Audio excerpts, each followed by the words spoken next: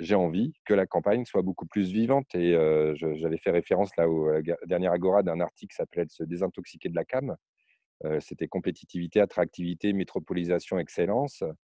et notamment qu'à la campagne, il y a des universités, qu'à la campagne, on puisse bah, y vivre avec des services publics qui ne qui disparaissent pas les uns après les autres. Donc, donc je pense qu'il y a les deux, c'est-à-dire qu'il y a un équilibre à trouver entre une, bah, ouais, une, ville vivable avec de l'espace et de la lumière. Donc ça, c'est aux urbanismes. Hein, a un gros travail là-dessus. Un travail aussi sur les, sur les loyers, parce qu'on voit, notamment à Paris, hein, des gens qui sont obligés d'aller à l'extérieur de Paris et puis à, urbaniser, puis à bétonner des, terres agricoles, mais on ne le voit pas qu'à Paris, on va le voir aussi dans nos campagnes. Hein, à Saint-Afrique, une petite ville de 8000 habitants, bah, les zones maraîchères, elles sont, elles sont toutes occupées par des zones pavillonnaires aujourd'hui. Et du coup, toute, cette urbanisation qui prend des terres agricoles et souvent les meilleures, elle doit être remise en question et on doit travailler sur les cœurs de bourg, sur les cœurs de ville.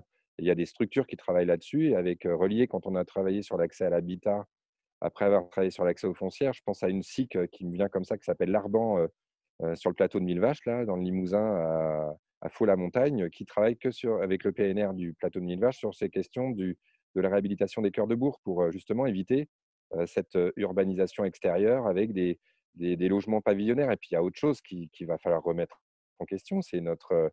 Alors moi, je suis, mal placé pour le dire, j'ai un peu honte parce que je vis dans, une maison. Alors j'ai une petite maison, si quand même, j'ai une petite maison mais effectivement, j'ai de l'espace autour qui est collectivisé, par contre, qui n'est pas à moi, qui est, collectif et à la SCI.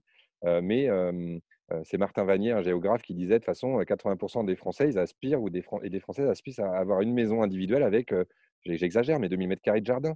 Et ça, ça va pas c'est pas possible. Enfin, c'est, qu'on, sache que c'est pas possible. Donc, va falloir et, là, peut-être que l'histoire du collectif et d'avoir de l'habitat partagé et d'avoir des lieux collectifs comme les nôtres permettrait de répondre à, une partie de cette question-là. C'est à nous d'être actifs, acteurs et actrices du changement et d'être beaucoup plus nombreux. On va avoir besoin d'être nombreux. Et par rapport à la ville, moi, je, pense aussi qu'il y a des gens qui ont envie de vivre en ville. Il moi, je, désolé, mais quand je vais en ville, il y a des moments où je passe une semaine dans une ville, bah, je suis content aussi. Alors, j'ai la chance d'avoir un lieu à la campagne je, je peux être heureux de ça. Mais moi, je rencontre des gens en banlieue. J'ai pu vivre en banlieue à un moment donné.